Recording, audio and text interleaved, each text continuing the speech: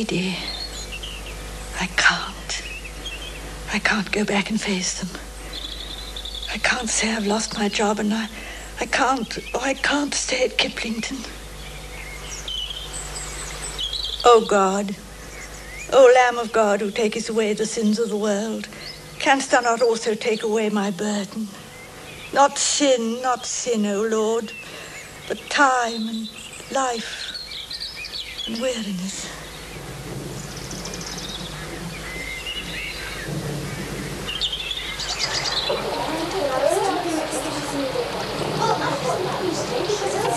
I now declare the meeting open. We ought to read out the rules of the society. Why? It's the proper thing to do. Before every meeting, actually. It's the minutes you mean, not the rules. Well, we haven't got any minutes. I founded the society and I say it's the rules. All right. Quiet everybody while Midge reads the rules. This society shall be called the Anti-Sikh Society or the ASS. Its object is the abolition of the Sigglesthwaite monster from Kiplington School.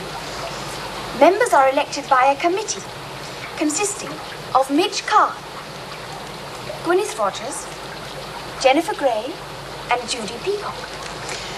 The society meets weekly and gives marks to its members judged by their behaviour towards the sick. Marks shall be awarded as follows. Ordinary cheeking class, one point. Personal insults, two points. And picking up dropped hairpins, two points. Drawings, if good, two points. If good and in a public place, three points. And a rarely splendid piece of cheek, affecting everyone, ten points. also, whoever does it shall be called Queen, ASS, for the term, and preside at all meetings. Otherwise, um, top marks for the week make a president. This society was the idea of MC. What's the score now? Oh, um, Gwyneth six, Jennifer four, Judy and Midge three each, Leslie and Molly naught. Here, hang it up then. Can't anybody think of something worth ten points? Something really splendid. Use the. I can. I've thought of a marvelous idea. All right, so it's from the president. okay. All right, now, listen. You know our nature friend. Write a study of some living creature whose habits you observe for yourself. Yes! Now I've thought of a really splendid idea. You know how she loves the stickleback? The little stickleback? Well, why not the sickleback? Who dare to write an essay on the sickleback? I mean, why not? We've studied it, haven't we? we we've observed it for ourselves. Oh, I see. wait, wait, wait. Um, the, the sickleback.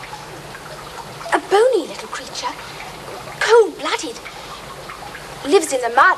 Builds nests in his hair. It prefers dirty water. It never mates. Marvelous. Midge, you're priceless.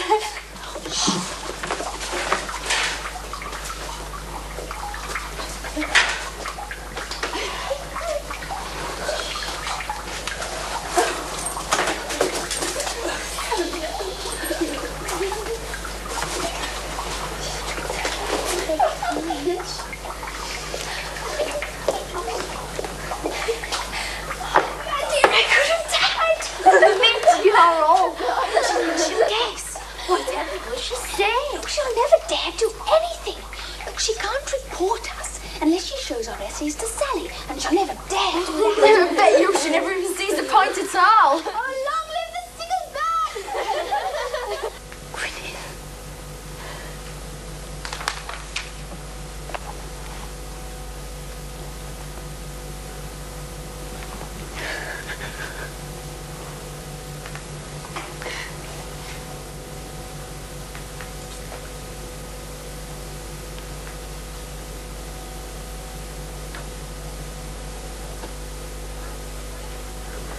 Time to dismiss, girls.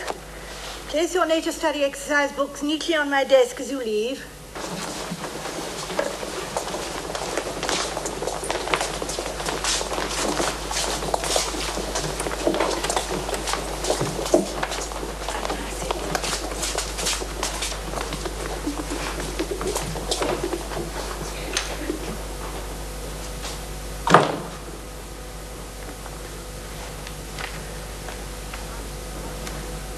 The life and habits of the Sigglesback. The Sigglesback never mates. It's too bony. Also, it has a most peculiar smell. It builds nests in its hair for breeding purposes. It has no voice, but a kind of piping squeak when it is angry. Exactly what is the procedure with staff letters? I mean, you collect... Oh, so I suppose Miss Jameson's been here. Well, she is second mistress, and no doubt she has a right to report misconduct among her subordinates. But even I have my dignity, Miss Burton. I may not have a university degree and all that, but I have my dignity. I am not an office boy to carry messages. Of course not. I was only going to suggest that if a letter should be accidentally delayed... Accidentally, so she did admit it was an accident, did she? She seemed to me to think that I did it on purpose. Really, she's insufferable. She was bad enough before she became engaged. Ever much. Do sit down, Miss Parsons. Now I suppose I'm talking exactly as she thinks I talk. She's always staring at unmarried women. She seems to think that either we envy her, her wretched little fiancé, or that we're all frozen and inhuman, riddled with complexes. It's not kind, and it's not nice, and it's not good for the girls. I agree with you. I agree with you entirely. Oh, there's far too much talk about virginity and its opposite altogether. It's very silly. But I do feel rather sorry for Miss Jameson. I think we shall have to make allowances for her. After all, she's not a young girl, is she? And this engagement seems to have gone to her head a bit. I understand she's waited several years for this young man's promotion, and there's still no sign of it. Well, that must be very trying for her. Tiresome for us, too, perhaps. But what I feel is that there's probably a very real fear of loneliness and old age behind her pose of superiority. You see, she's not naturally a very lovable person, is she? And if she doesn't marry, I think one day she may feel terribly isolated. Oh. Oh, I hadn't thought of that.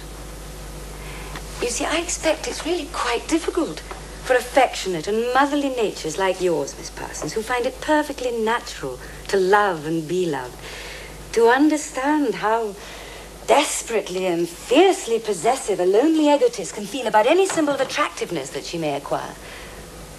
Miss Jameson's engagement ring is a tremendous thing to her. It's a sign that somebody really loves her and wants to live with her and that she returns that love.